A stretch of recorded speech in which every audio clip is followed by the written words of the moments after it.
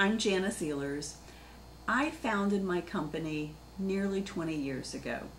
I had a long time career in public relations and marketing, specializing in real estate.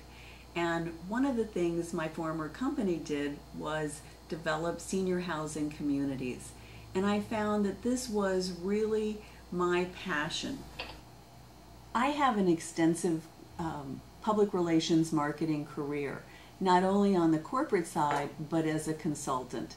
And I went back to school and have an executive MBA from Nova Southeastern University specializing in real estate marketing and public relations efforts. Additionally, I've been a trade association speaker um, for many years. I've been involved with in the industries associations. I've been on the board of the National Association of Home Builders 50 Plus Housing Council. I have their cash designation. I've been involved in LeadingAge and also ALFA. We, we understand the challenges in today's market. We understand what every community is going through to um, bring, bring residents to their doors.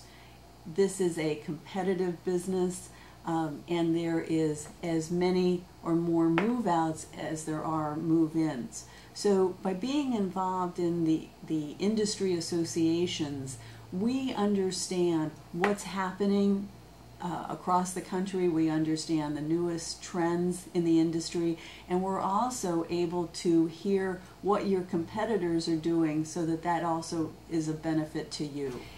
The Ehlers Group has worked with clients and their communities uh, from across the country. Every community is different, and we like to learn about a community and then come up with a special program for them.